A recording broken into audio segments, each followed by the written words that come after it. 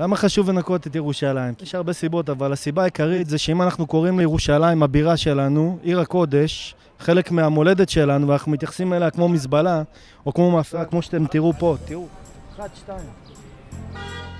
כמו שאנשים מתייחסים לבית שלהם, שלא זורקים בבית שלהם בדלים על הרצפה, על אחת כמה וכמה בירושלים.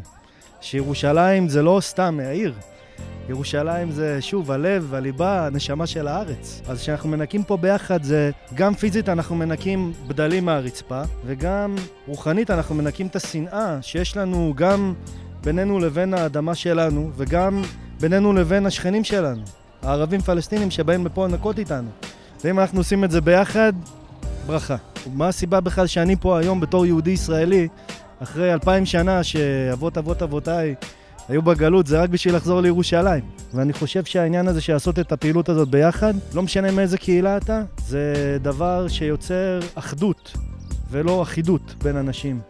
להתאחד למען משהו, הדבר הכי קטן. אז יש לי דבר גם מאוד חשוב לומר, זה האנוכיות של האנשים, של בני אדם, שמתייחסים לאדמה הקדושה הזאת כמו מזבלה, או כמו מאפרה, והעדויות פה, ועושים את זה בכל מקום. אז העניין הזה של לנקות השנאה בין יהודים ופלסטינים, ובאמת לתת מהות לארץ הזאת שהיא ארץ קדושה, ולעשות את זה בכך שאנחנו בעצם מורידים את האגו שלנו, את הכבוד שלנו, לטובת האדמה הזאת שאנחנו נלחמים עליה, אבל בעצם אנחנו צבועים כי אנחנו לא מתייחסים אליה בעצם כמו המהות שלה.